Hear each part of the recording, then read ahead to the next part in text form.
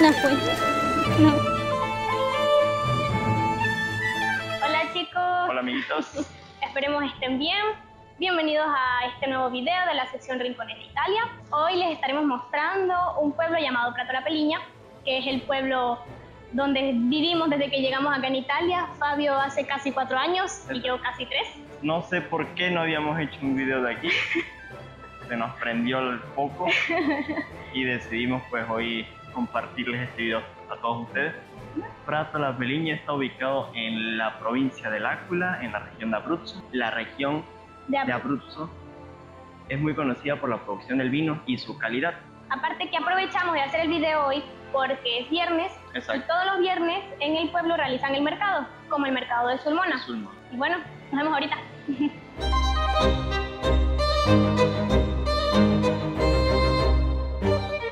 cabe destacar que a Prato la Peliña le fue otorgada la medalla de bronce al mérito civil Es verdad. debido a que en la Segunda Guerra Mundial era un punto estratégico y por eso era duramente bombardeada y atacada por el ejército alemán. También justamente aquí nos encontramos con algo importante a nivel histórico, el cual es una placa dedicada a los caídos de la Primera Guerra Mundial.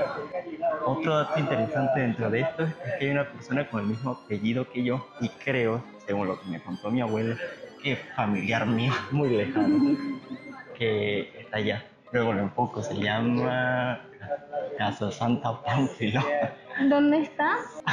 allá.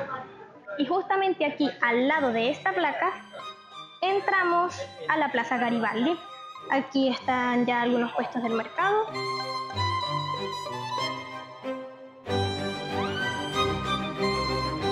Dato interesante que nos acabamos de encontrar un señor que nos dice que esto aquí antes era una, una Una carnicería, carnicería, este edificio de acá. y en vez de colocar el letrero que diga carnicería tal, el nombre, se guiaban por, la, por las Por las estructuras, por imágenes. las imágenes. Y- Es una vaca y eso es qué? Una ovejita. Una ovejita. una ¿no? ovejita. Y eh, con eso pues daban a entender que era una carnicería.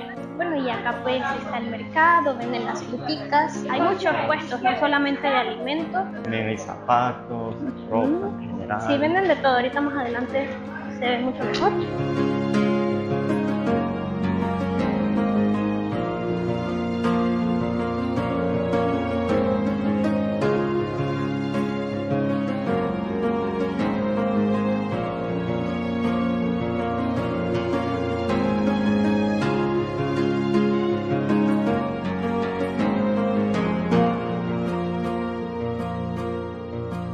Esta es una iglesia en honor a la patrona del pueblo, la cual se llama Madonna de la Libra. Cuenta la leyenda que un hombre llamado Fortunato, durante una terrible peste del 1500, encontró la imagen de la Virgen en una iglesia abandonada y en ruinas en las afueras del pueblo. Le pidió que los liberara de la peste y de allí viene su nombre. Acá en Prátola es muy famosa la fiesta de la Madonna. Es una fiesta en honor a esta Virgen. En estos días, que son el primero y el segundo domingo del mes de mayo, Prátola está full de tanto creyentes de la Virgen como turistas, porque es una fiesta realmente muy hermosa y adornan las calles como si fuera Navidad.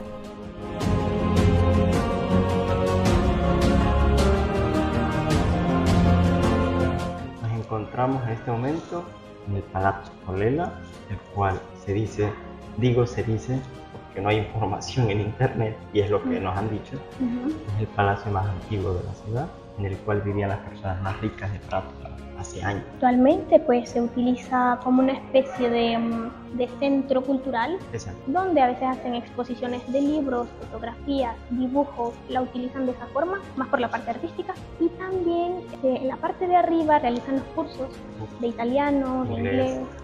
Por ejemplo, este dibujo que está aquí se realizó en diciembre del año pasado. Nosotros tocamos en esa oportunidad y también estaba un muchacho que se llama Emanuel Simeoni. Él es un artista que realiza sus dibujos y este en particular lo hizo en vivo. vivo. Mientras nosotros tocábamos, él estaba haciendo su boceto, empezó a dibujar. lo impresionante fue el tiempo en el que El tiempo lo hizo en tan poco tiempo y aparte, como pueden ver, no es lápiz que se pueda borrar, lo estaba haciendo directamente en marcador. Entonces, tal cual como, como le estaba quedando, así, lo, dejó. y pues quedó muy bonito. En estos momentos nos dirigimos a lo que se llama eh, Borgo dentro de la Tierra, el cual es, según mi opinión, nuestro opinión, porque ¿saben cuál es el problema de estos pueblos pequeños? Que tú buscas por internet y no hay información. La única información que tenemos es la que nos cuentan las personas que viven aquí. Es una de las partes interesantes de hacer este video, porque si ustedes buscan no encuentran. Entonces, eh, gracias pues, a los que nos están contando, pues podemos compartirlo a ustedes. Prácticamente es como, era como la parte central del pueblo anteriormente porque también hay una fuente, así como la fuente Hay como una placita pequeña. Era como la plaza central y hoy en día pues quedó como un sitio secreto. En la noche se ve mucho más bonito y acá está la fuente.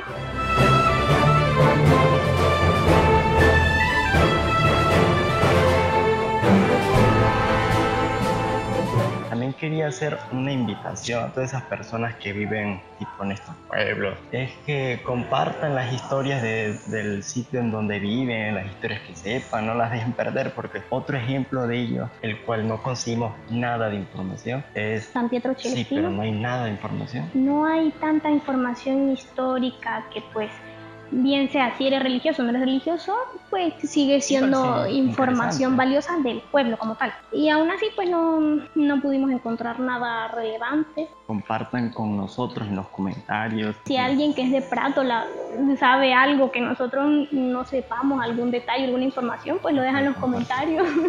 Porque son pueblos que son muy bonitos, con mucha historia, pero no se comparte tanta información de ellos.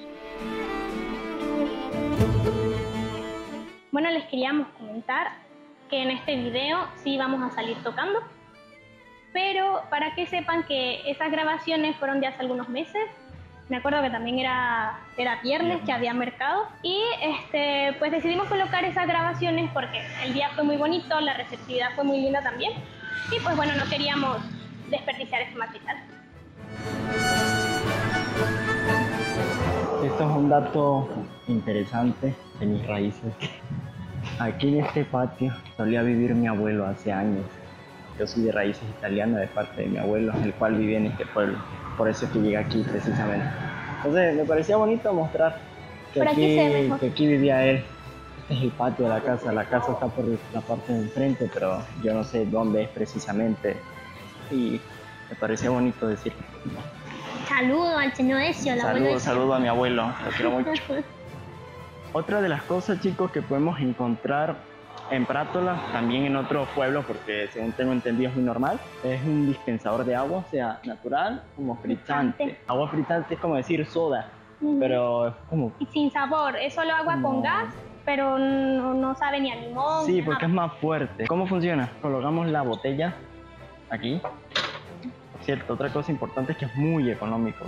Por cada litro cuesta 10 céntimos de euro. Ok, procedemos a colocar la moneda. ¿Dónde lo vemos? Uno, dos. Ah, se supone que ya cayó. Y luego le damos al agua natural porque la frichante no nos gusta. No. Eh, como el otro video, eh, vale pues.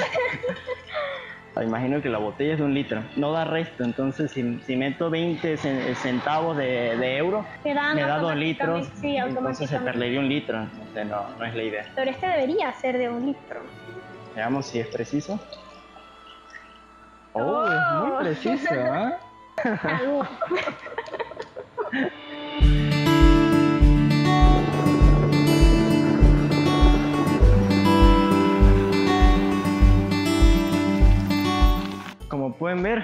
me cambié de franela. Está rojita como yo. Es la ventaja de, de, vivir en el mismo pueblo en donde grabamos. Ahorita mismo estamos en una entrada de un caminito que me gusta mucho en particular y que hemos recorrido varias veces en bicicleta. Es un camino que lleva desde Prátola a diferentes pueblos de la región como Corfinio, Rayano, etc.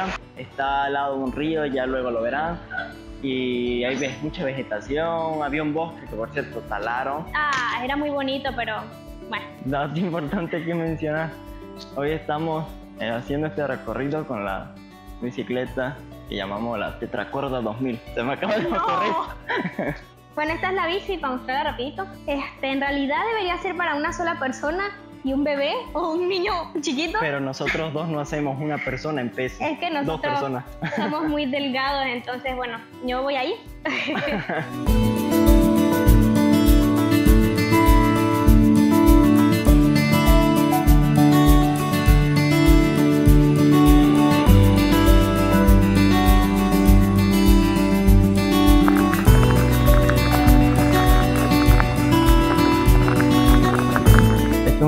creativo muy bonito, Es muy lindo y muy relajante. muy relajante.